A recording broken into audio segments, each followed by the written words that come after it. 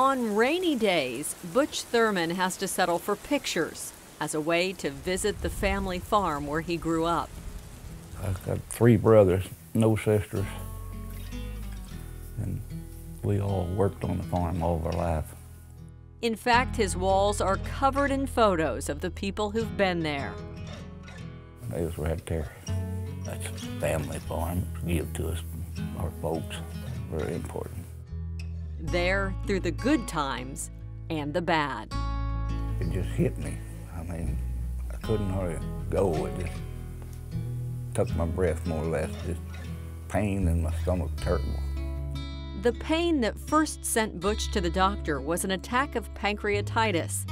It's not usually caused by cancer, but in Butch's case, it was a fortunate warning sign. Scans showed a mass, stage 2 pancreatic cancer.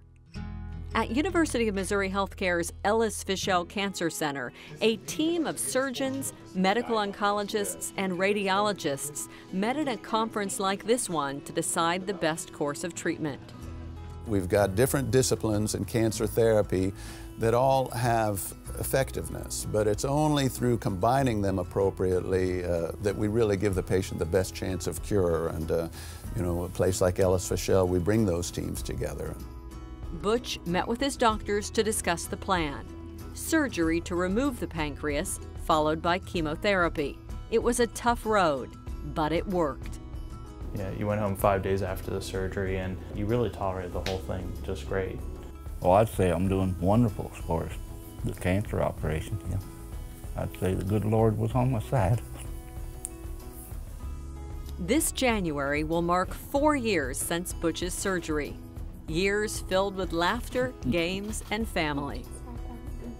Patients and primary care physicians have the impression that pancreas cancer is untreatable, and uh, that is not the case. The, the treatments are very well tolerated, and they offer a very real chance for cure. And that, that's probably the most important message we could deliver. And with a little hope, what started as a bad hand can turn into a win. Keep on going. I ain't gonna give up.